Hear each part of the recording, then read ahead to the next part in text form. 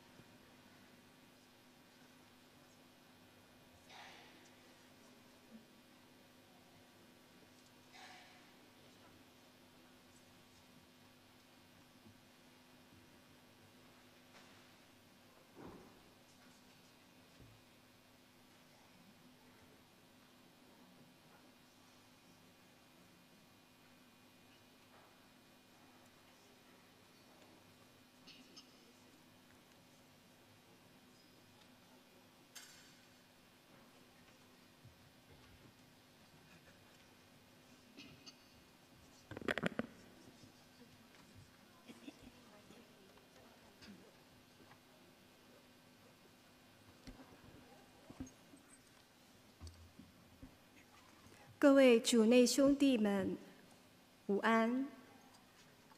今天奉献这台弥撒的有以下名单：为王者汪良桥、Lionel 谭振宇、那崇龙、John Tan Boon Kiat、Theresa Chong Amui、Peter Ng Lim Heng、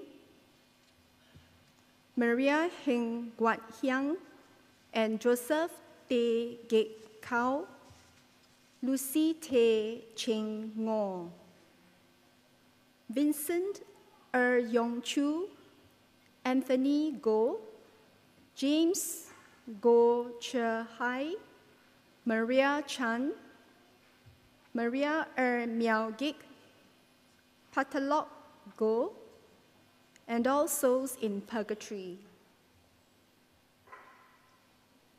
为个人扶持，Mary Lee and Theresa Lee, Natalie Lam, James Lim。为特别意向，Joanna Huang, John Song and family, Pang's family, John Song and family, Clement Song and family, Michael Ang Pya Chun, Theresa Lee and family, Hui Gan En, Joseph Chia and family, Lee Han En.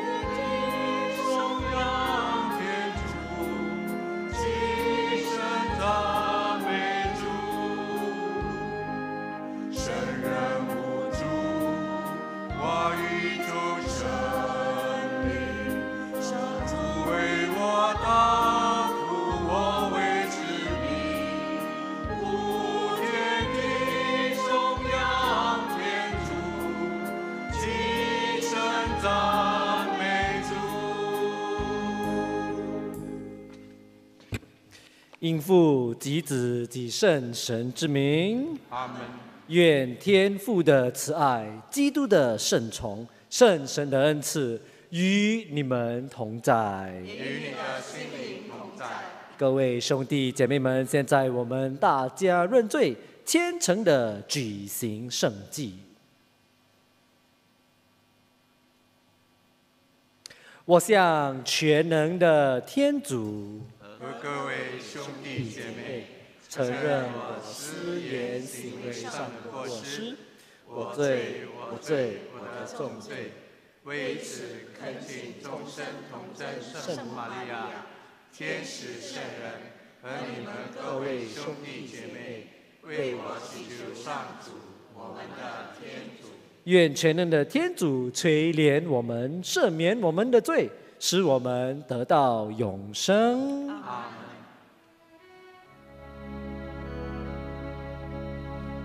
上主，求你垂怜。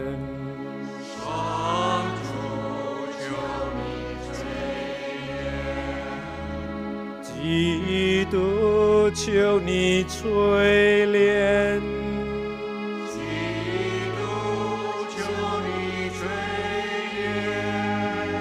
上主，求你垂怜。上主，求你垂怜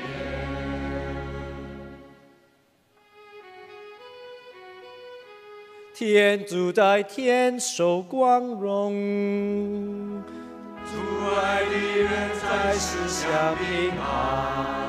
主天主，天上的君王，却能的天主圣父，我们为了你无上的光荣，赞美你，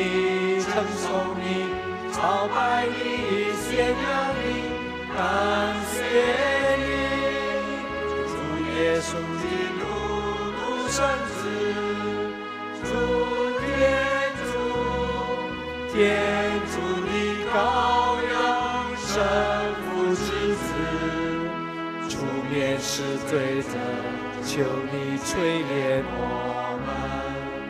出面是罪者，求你抚平我们的祈祷。若在神父之佑者，求你垂怜我们，因为只有你是上帝，只有你是主，只有你至高无上的耶稣基督，你和神圣同享天主圣父的光荣。阿门。请大家祈祷。天主，你以恩宠化育，使我们成为光明之子。求你赏赐我们，常生活在真理的光辉中，不为错谬的黑暗所笼罩。以上所求是靠你的子，我们的主耶稣基督，他和他和你及圣神唯一天主，永生永王。阿门。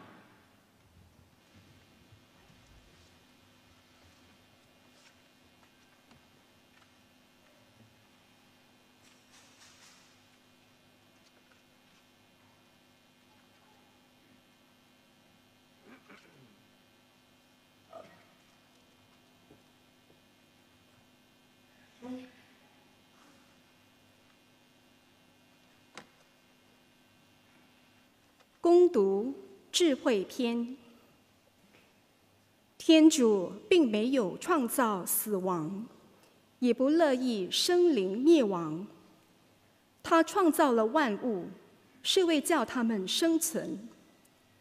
世上的生物都有生命力，本身都没有致命的毒素。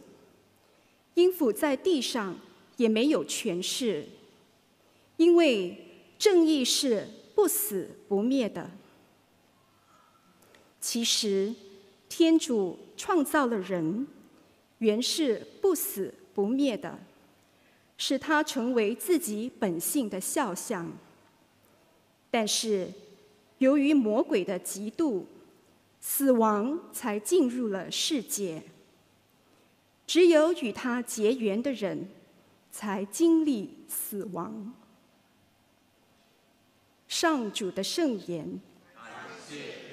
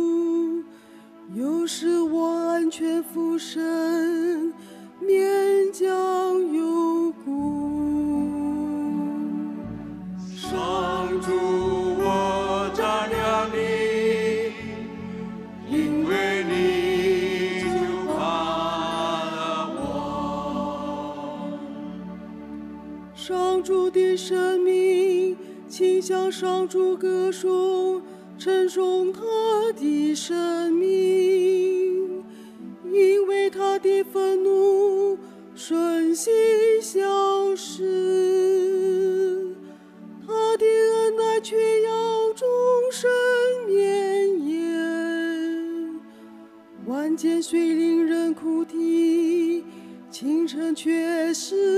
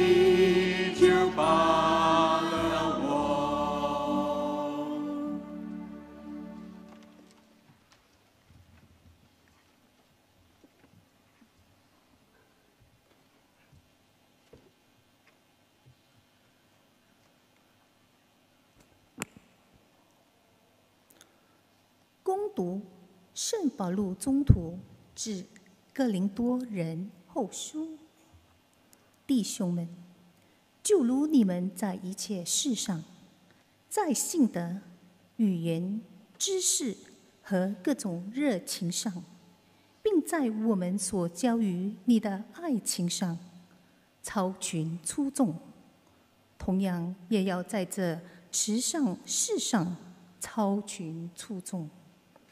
你们知道我们的主耶稣基督的恩赐，他本是富有的，为了你们却成为了贫困的，好使你们因着他的贫困而成为富有的。这不是说要使别人轻松，叫你们为难，而是说要出于均匀。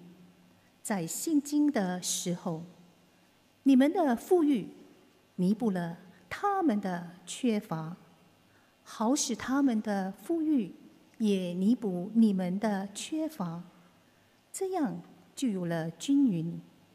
正如所记载的，多收的没有剩余，少收的也没有不足。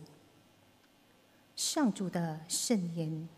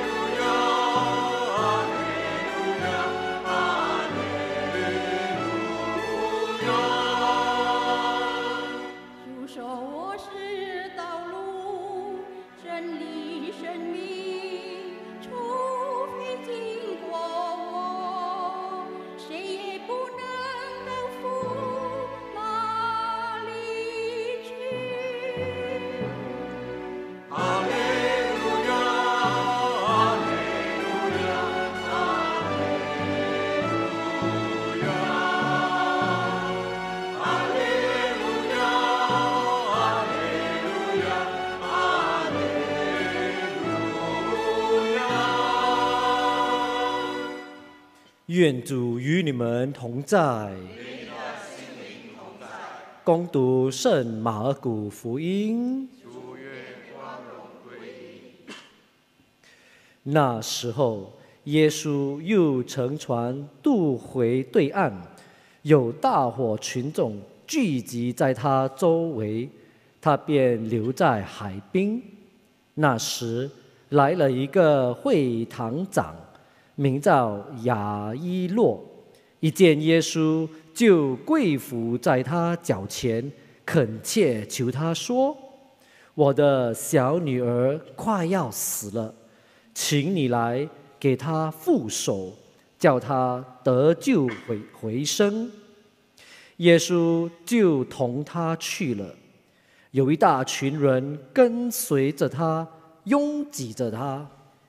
那时有一个妇人患血漏已有十二年，她在许多医生手里受了许多痛苦，花尽了自己所有的一切，不但没有见效，反而病势更加重了。他听了有关耶稣的传说，便来到人群中，从后边摸了耶稣的衣裳，因为他心里想：我岂要一摸他的衣裳，必然会好的。他的血原力和结了，并且觉得身上的疾病也好了。耶稣立时觉得有一种能力从自己身上出去，就在人群中回过头来说：“谁摸了我的衣裳？”他的门徒向他说：“你看，群众四面拥挤着你，你还问谁摸了我？”耶稣四周观望，要看。做这事的妇人，那妇人明知在自己身上所做成的事，就战战兢兢的前来，跪伏在耶稣前，把事情全部告诉了他。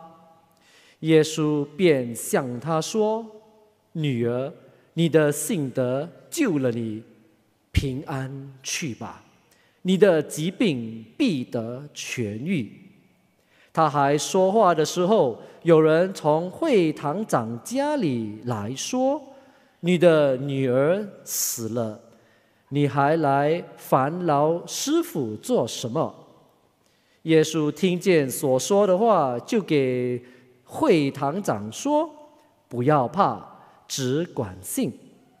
除了伯多禄、雅各伯和雅各伯的弟弟若望以外。”他没有让任何人跟他去。他们到了会堂长的家里，耶稣看到群众非常喧噪，有的哭泣，有的哀号，便进去给他们说：“你们为什么喧噪哭泣呢？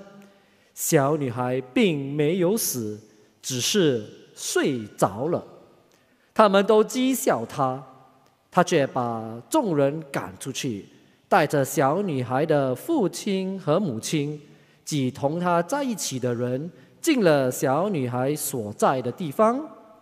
他拉起小女孩的手，对她说：“塔里塔古木”，意思就是：“女孩子，我命你起来。”那女孩子就立刻起来行走。原来她已十二岁了。他们都惊讶的目瞪口呆。耶稣却严厉命令他们，不要叫任何人知道这事，又吩咐给女孩子吃的。基督的福音。基督，我们赞美。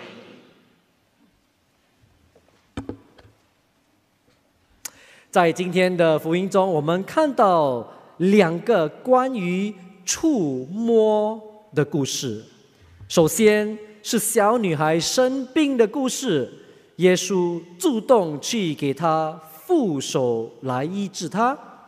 而第二个故事就是一位患了十二年的可怕疾病的妇女，偷偷的摸了耶稣的衣服。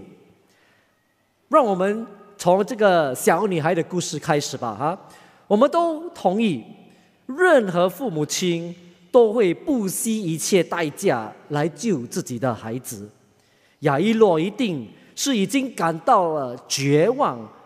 能够在一大群人的面前走到耶稣的跟前，跪伏在我们主耶稣的脚前，恳求他来医治他的女儿。当然，我们主耶稣不会拒绝他。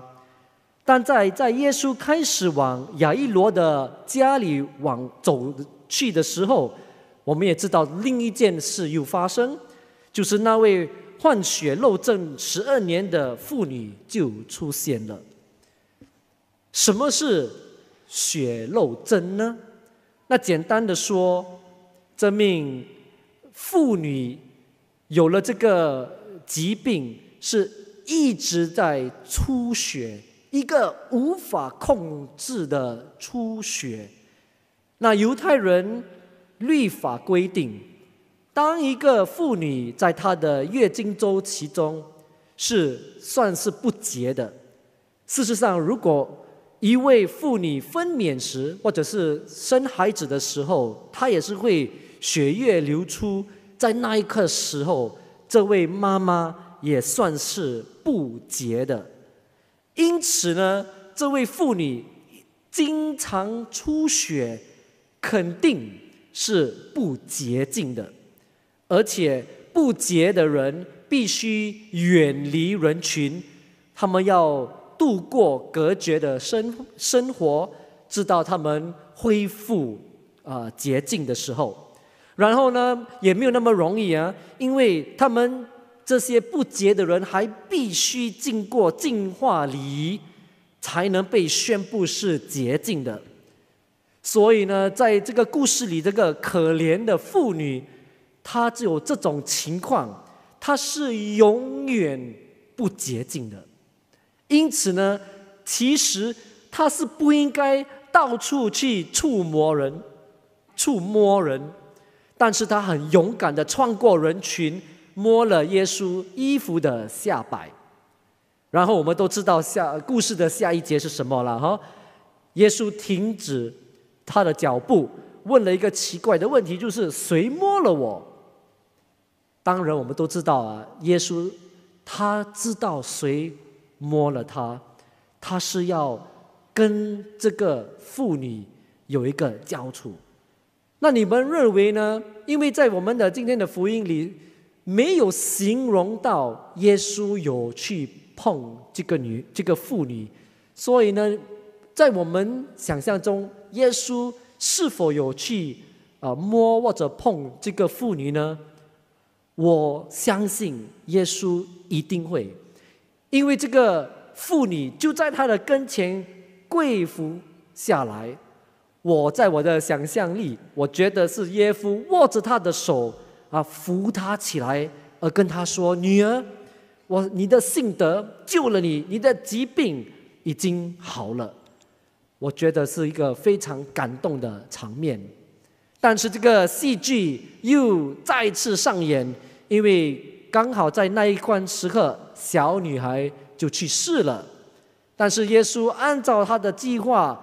照样到亚伊罗的家，在那里又拉着小女孩的手，小女孩的手，好让她起死回生。现在让我们重新回顾这两个触摸的故事，这个触摸的情境，在这种情境下，这些都是禁止哦禁止触摸的一个啊场面。刚才我说了一个不洁的妇女应该必须隔离，不应该接触任何人，因为他这个不不洁的人所碰的其他的其他的人会令别人变得不洁。所当然了，那些啊呃这些人都会尽量不要接触那些不洁的人。听起来好像我们小孩子的时候，我们不是玩的那个捉迷藏哦啊，捉迷藏的时候，你不是不可以让那个人来碰你啊，我们会尖叫的跑啊啊，不让那个捕手啊身边啊，不要给他碰到我们这个捉迷藏的的这个游戏，在这里也是一样。当一个人知道你是一个不洁的人、不洁净的人，我们不能跟你接触。比如说，如果一个。是一个死死人的一个尸体，谁碰到这个死人，就会变成不洁净，而后来就要必须经过净化仪式、净化礼仪。如果你们记得这个比喻，这个慈善撒玛利亚的比喻，在路加福音里，那个人被强盗啊打到半死半活，啊刚好走过一个司机，还有走走过一个乐位人。看到这个受害者，他们反而从旁边走过，那为什么呢？是因为这个司机还有这个乐位人不想碰到一个可能刚好刚好死刚死的一个人，因为躺在路上的这个受害者是否还活着或者还死的，这两个人可能不知道。这个司机还这个。呃，乐位人看不看不清楚究竟这个受害者还活着还是死的，因为如果他真的是死了，那如果去碰去帮忙去碰到他，他们就变成不洁净，他们就要经过一个净化礼，太麻烦了。所以呢，有这种想法，最安全的就是每个人避免不洁净的人就可以了。可是你看我们今天的故事。当耶稣触摸这些不洁之人的时候，情况反而是相反，因为不是耶稣自己变成不洁，而是耶稣让这两个人，就是这个妇女和这个小女孩，变成洁净了。也许你们现在所在想，在头脑里想的自然的反应就是。哎呀，当然啦，这是耶稣吗？他是天主啊，当然啦，他触摸什么东西都创造，能够创造奇迹。那如果是我呢？啊，我们碰到什么，不是打破就是弄坏啊？我我也是这种人啊，打破弄坏还也也不会修理。所以呢，我们这个人想说，幸亏我没有结婚啊。如果娶一个老婆啊，我要这个老婆能要能够修理东西，因为我不会修理东西的啊。说的确啦，我们每个人没有办法跟耶稣相比，耶稣的触摸跟我们的当然没有的比。但是今天我的讲到的重点呢，不是关注我们与耶稣触摸的相比，而是我们的信仰，我们是否愿意？站出来，让耶稣触摸我们呢？或者呢，我们能够站出来，自己亲自去触摸耶稣呢？我们看看这位患血肉的妇女，她有非她有非常深的一个信德，她上前触摸耶稣，她的病就痊愈了。但是看到你们一个一个，我也了解啊，你们我们都也有信德，因为我们都不断的来到教堂，我们都很愿意触摸耶稣。其实不只是耶稣，你们都能够触摸他的母亲啊，圣母玛利亚，一直看到他的雕像，一直去打动他的脚，动到他的脚，到一个一个都不见掉了然后！我们都要触摸，我们都很很信任耶稣，很信任他的母亲。可是问题呢？我的问题还在嘞，我还没有痊愈啊！这边痛，那边还痛啊！家里的问题一大堆，公司的问题一直存在，那怎么办呢？可是，就是在这方面，我们得反省，我们的信仰究竟达到什么程度？因为如果我们一直都有这种为什么没有权益的的的问题，就是一直一直问问问耶稣，你为什么没有回应我的祈祷？我们就可能会变变成故事中的那些人，因为当女孩子死了过后，耶稣说什么？她没有死，她还睡着的。他们的反应是什么？他们都嘲笑他，呃，神经病，死了就死了，还说是什么睡觉，呃，对不对？他们以为你你不要，你说神经病死了就死了。他们这种态度，意思就是没有希望了。反啊，女孩子都死了，你还说什么？就是他们对情况。已经绝望了，没有希望了。他们也对耶稣的能力、耶稣对耶稣的细心也死了，完全没有希望的一个概念。因此呢，我们兄弟姐妹们也是会这样吗？因为今天我们一直祈祷，我们一直向一呃我们的圣母玛利亚为我们等祈。但是呢，我们的困苦一直在，一直存在，所以呢，我们可以来到这个地步，我们心中是这样想：真的吗？耶稣，你真的可以帮我吗？你真的有这个能力吗？我等了那么久了啊，祈祷那么多年了，还是这样。我们是否有这种想法、这种态度呢？我在想，当。那个小女孩在他们的面前起死回生的时候，当场的人他们的反应是什么？一定是大吃一惊，因为他们完全没有想象耶稣能够做出这种奇迹。但是今天，亲爱的兄弟姐妹们，我们。我们要记得，我们要发现，耶稣就是能够做这种奇迹。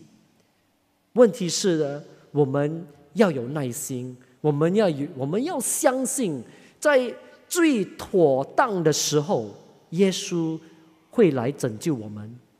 所以呢，在今天的弥撒中，今天我们所读的福音的故事里。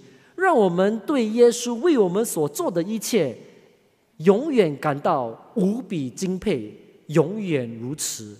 愿我们的信德永不落空。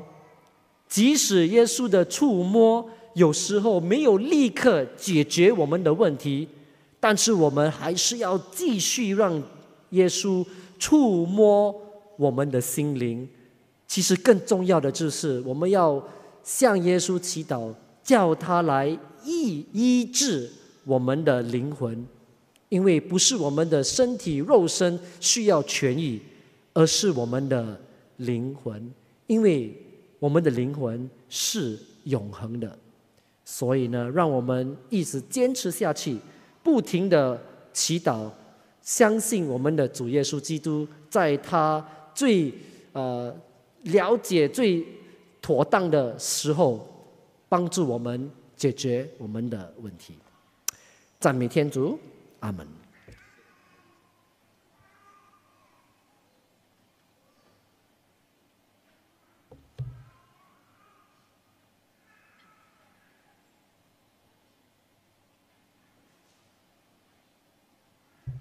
现在请大家起立，让我们一起念我们的圣经。我信唯一的天主，全能的圣父，天地万物，无论有形无形，都是他所创造的。我信唯一的主耶稣基督，天主的独生子。他在万世之前由圣父所生，他是出自天主的天主，出自光明的光明，出自真天主的真天主。他是圣父所生，而非圣父所造，为圣父同性同体，万物是借着他而造成的。他为了我们人类，并为了我们的得救，从天降下。他因圣神由童贞玛利亚取得肉躯而成为人。他在在借比拉多之证时，为我们被钉在十字架上。受难而被埋葬，他正如圣经所载，第三日复活了。他升了天，坐在圣父的右边。他还要光荣的将来审判圣者死者。他的神国万事无疆。我信圣神，他是主及赋予生命者，由圣父圣子所共发。他和圣父圣子同受精虫。同享光荣，他曾借先知们发言：“我信唯一之生之功，传宗之出的教会。我承认赦罪的圣喜只有一个。我期待死人的复活及来世的生命。生命来自天主，我们应该珍惜爱护它。现在我们诚心祈祷。”求主使教友们恒心遵守规戒，善度基督徒的生活。我们同声祈祷。求主听我们。求主使各国政府致力和平主义，人民得以安居乐业。我们同声祈祷。求主听我们。求主使人们尊重生命，停止一切。伤害、杀生的行为，我们同声祈祷。求主听我们。求主使青年们知道洁身自爱，远离罪恶的诱惑。我们同声祈祷。求主听我们。天主众生之父，你派遣圣子来世，使人类获得更丰盛的生命。求你恩赐我们欢度现世的生活，分享你永生的幸福。以上所求是靠我们的主基督。阿门。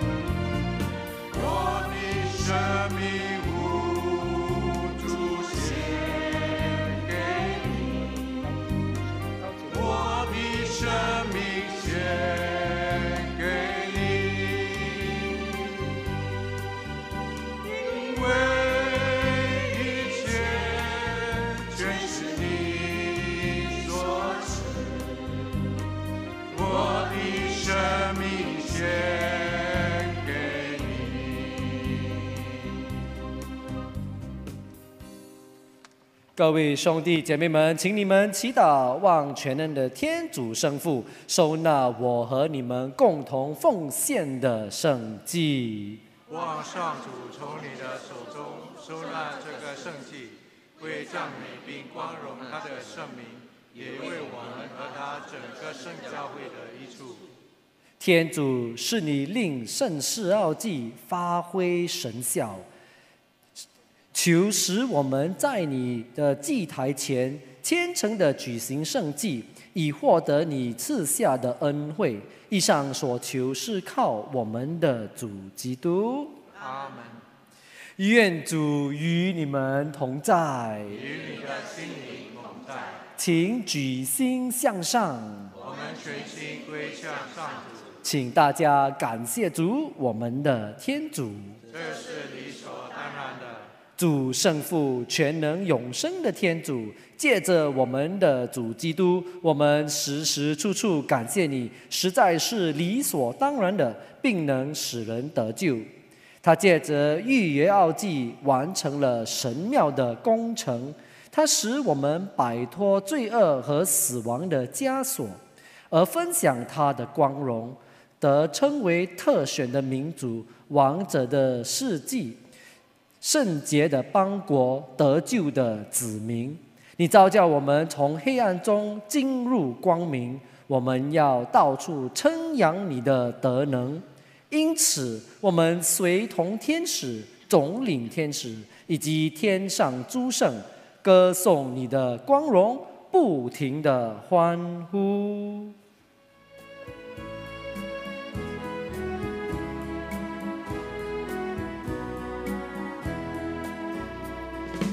神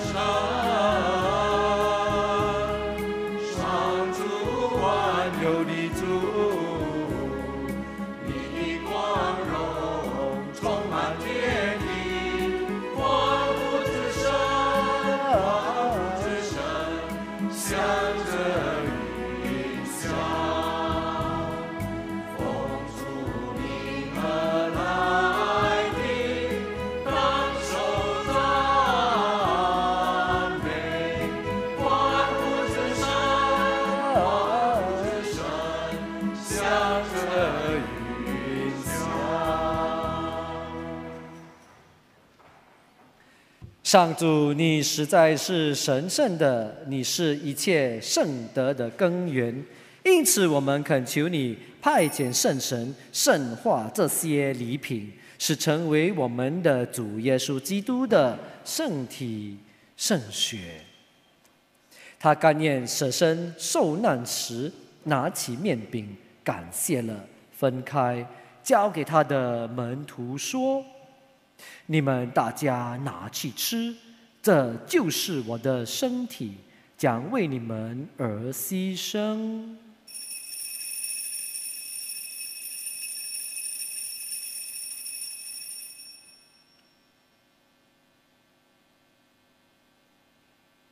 晚餐后，他同样拿起杯来，又感谢了，交给他的门徒说：“你们大家拿去喝，这一杯就是我的血，新而永久的盟约之血，将为你们和众人清流，以赦免罪恶。你们要这样做，来纪念我。”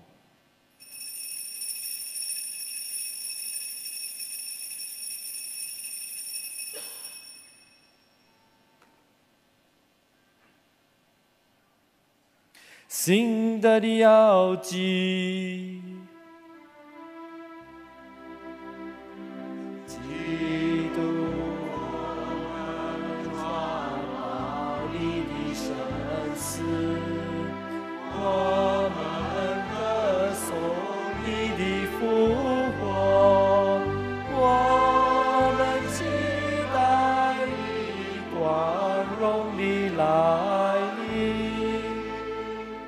上主，因此我们纪念基督的圣死与复活，向你奉献生命之粮、救恩之杯。感谢你使我们得在你台前侍奉你。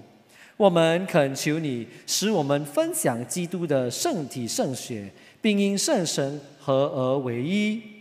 上主，求你垂念普世的教会，使你的子民协同我们的教宗方济各、我们的总主教吴成才与所有主教以及全体圣职人员，都在爱的中日趋完善。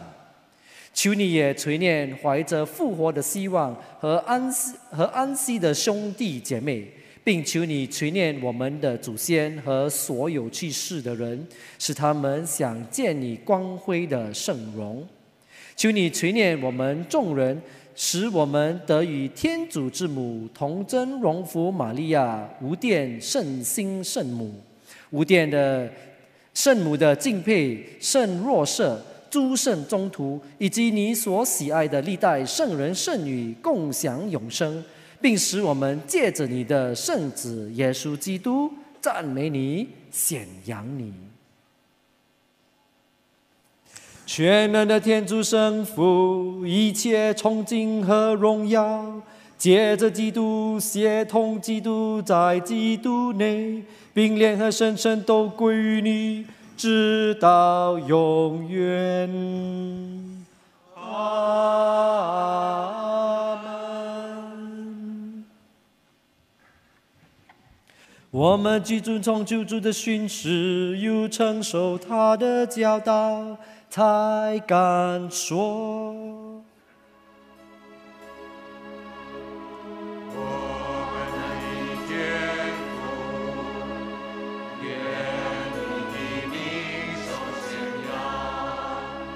愿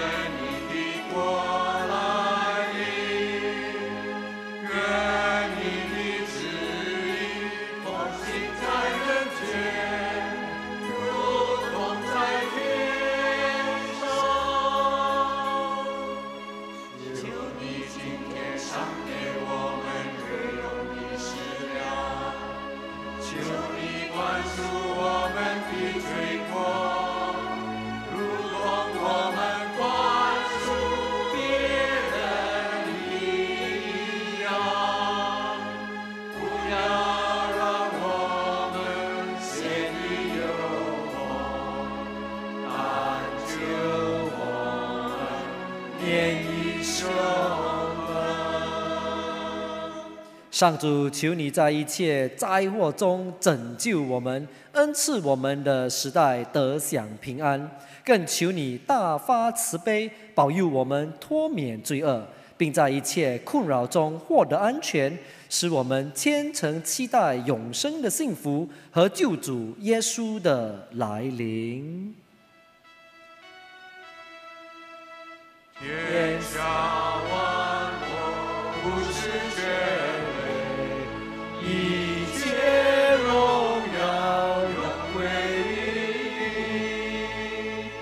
主耶稣基督，你曾对宗徒们说：“我将平安留给你们，将我的平安赏给你们。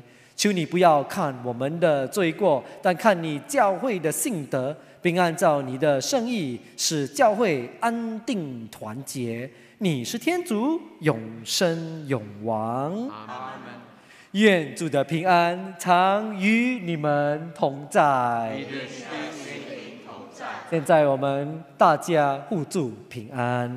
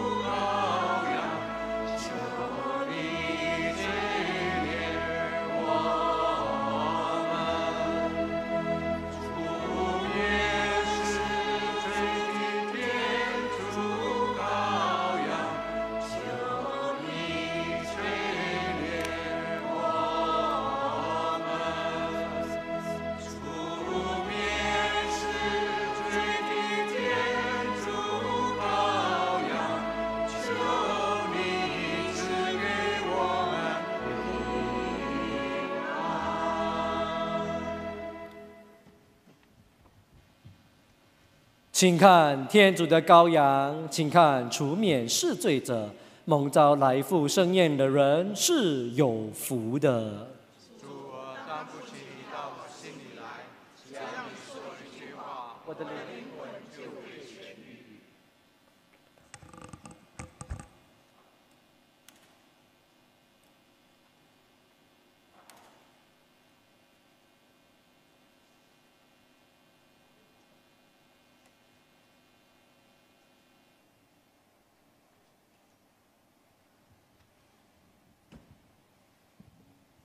林主有，我的心灵，请歌颂上主；我的五内，请赞美他的圣名。